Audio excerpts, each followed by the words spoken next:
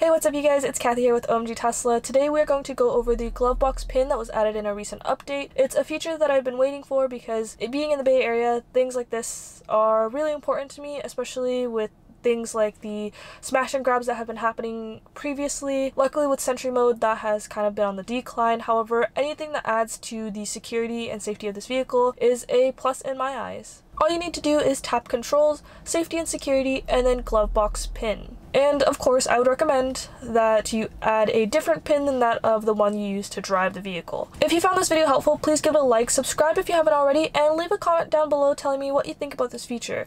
I personally didn't even realize that this came out already, and so I'm really glad that I actually looked at my release notes this time around. Um, this was in a previous update, however, I just didn't know about it, so I'm glad that I know about it now. I hope that you feel the same way, and I hope you found this video helpful. I will see you guys in the next one. Bye!